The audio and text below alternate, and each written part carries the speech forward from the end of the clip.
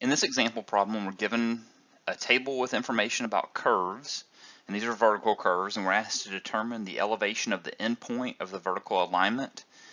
We're told that the project overall begins at station 31 plus 67 and has a grade of negative 2.32%, and that beginning station has an elevation of 3,244.8 feet and that the project ends at station 67 plus 84.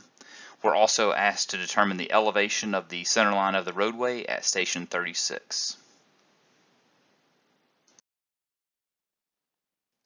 So it always helps to take our information and particularly for alignment problems to draw this. So we can start out by drawing the tangents and if you're just working a problem, you don't have to be extremely precise, but just draw them in, in, in, relative terms. So we had our, we were told that our entering grade for the overall project is negative 2.32%. Our table gave us the remaining exit grades. So they go in succession, negative 1.03%, positive 4.16%, and negative 2.99%.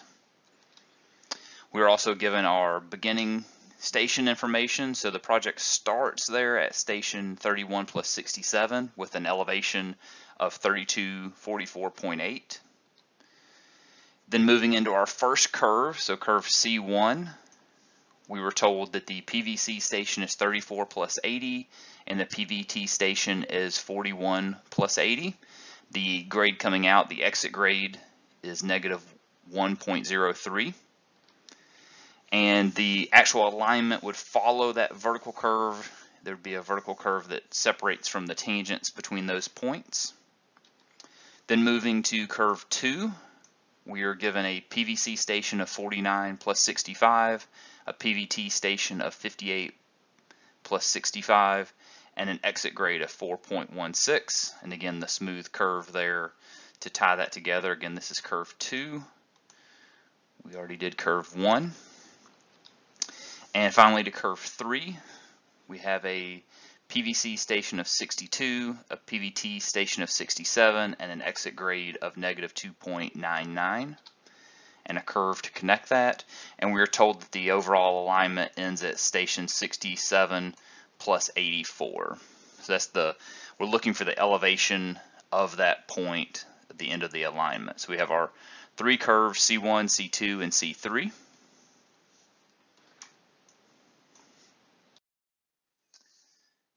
And so that's our basic given information. And so we should always start with a drawing that looks like this, where we've got our grades drawn, we've got our curves drawn and located with the PVCs and PVTs. We have the beginning station, we have the ending station, which is what we're looking for. So ultimately we want the elevation at that station 67 plus 84.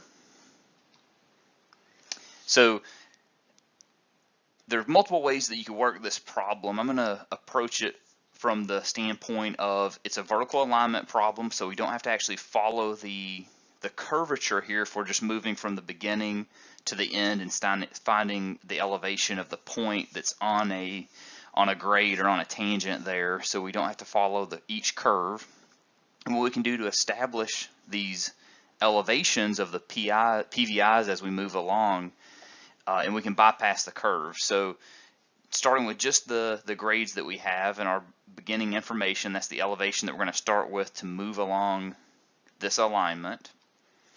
So our PVI is always for a symmetric parabolic curve, which is going to be our standard assumption for vertical curves, is going to be halfway between the PVC and PVT. So if we take the halfway point between each of these numbers, starting with the first one, curve 1, we're going to get a PVI station of 38 plus 30. For curve 2, it's 54 plus 15. Again, it's the mid midpoint between the PVC and PVT. And for curve 3, 64 plus 50. Again, the midpoint between 62 and 67. And again, we're looking for that final point on the alignment, station 67 plus 84. And so the way we can work this, again, we can just move along with each segment, connecting starting point to PVI1, to PVI2, to PVI3, and finally the ending point, which is the elevation we're looking for. So this first segment, we can find the distance, and essentially we're looking for the distance between these two numbers. That's going to tell us the distance. So 38 plus 30 minus 31 plus 67 will give us a distance of 663 feet. And at negative 2.32% slope is going to give us an elevation change of negative 15.3816 feet. So it's a drop in elevation of about 15.4 feet. We can move to the next segment now, and the distance is 1,585 feet. So it's the just subtracting the stations of PVI2 and PVI1. We're going to multiply that distance by our grade of negative 1.03%, and it will find we'll find a drop in elevation of 16.3255 feet. So over that 1,585 feet, we're going to drop a little over 16 feet in elevation. For the third segment, so going between PVI3 and PVI2, has a distance of of 1,035 feet. Again, we're looking at the distant, the difference between these stations of the PVIs. The slope is an upgrade of 4.16%, so the elevation change over that 1,035 feet is 43.056 feet. And finally, for segment four, we have a distance of 30, 334 feet. It's taking our ending station and subtracting PVI of curve 3 from it at a negative 2.99% slope, we're going to find an elevation change of negative 9.9866 feet. So a drop in almost 10 feet over that 334 foot segment. So the overall elevation change, all we need to do now is go back and add up each of these components. So negative 15.38, negative 16.32, positive 43.056, and negative 9.98. And it's going to give us a change in elevation from the beginning station to the end of 1.3623 feet. So over all those, those four different grades, the ultimate difference is just 1.36 feet above where we started. So we need to go back to our given information. We were told that we start at an elevation of 3244.8 feet. We're going to add in that delta, and it's going to give us a final elevation at the end of our alignment of 3246.162 feet for our final elevation. And so that's our final answer here given for that part of the of the problem. We're also asked to determine the elevation of the center line of the roadway at station 36. So we can take the given information that we have, we already, we already understand and know the alignment of this part of the roadway. We're looking at station 36, so it's on curve 1.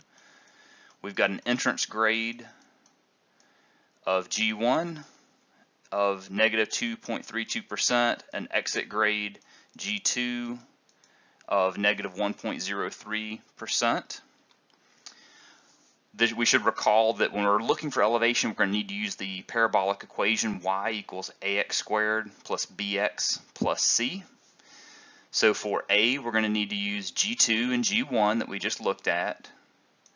The length is the difference between our PVT and our PVC. So we're just going to subtract 3480 from 4180 to get our length. B is just the grade G1, the entrance grade. C is the PVC elevation, and we can use our given information to help determine this. So we were told that at station 31 plus 67, we have a station, we have an elevation of 3244.8 feet. So in order to solve for our PVC elevation, we need to look at how much change in elevation we get between that known point and our PVC elevation. Typically, you're given the PVI elevation, so that's what's shown in this equation here. In this case, we weren't given the PVI elevation, so we have to use a different equation this time. We need to use the, the numbers and the values that we were given. So we're going to start with that given 3244.8 feet. We're going to go down the grade 2.32%. The distance between the starting point, which was 31 plus 67, and the PVC station, that's what we're looking for. So we're going to multiply those, that grade by that difference in the distance, and we're going to find a PVC elevation of 3237.5384. So that's our PVC elevation. So now we can move forward with knowing A, B, and C. We also can determine X. So in our parabolic equation, X is the horizontal distance along the stationing axis. So we need to go from the PVC to the point of interest, and that is 120 feet. And then for our equation, it needs to be in stations, so that's 1.2 stations that we're going to use for x for our equation. So now we're going to take that information, we're going to determine what our actual components, customizing that parabolic equation for our particular curve. Again, we're looking at curve C1, so it's an equation that only works for curve C1. We're building this custom equation for it. We're looking for the elevation at station 36. And when we plug in the numbers that we talked about previously, we'll have an A of 0.0921, a B of negative 2.32, and our C, which is the PVC elevation of 3237.5384. Our X is 1.2 or 1.2 stations from the PVC. So we're looking for Y, which is the elevation at station 36. The equation to solve now is 0.0921 multiplied by 1.2 squared minus 2.32 multiplied by 1.2 plus the PVC elevation 3237.5384 gives us an elevation at station 36 of 3234.88 feet. So that's our final answer for the elevation of the center line at station 36.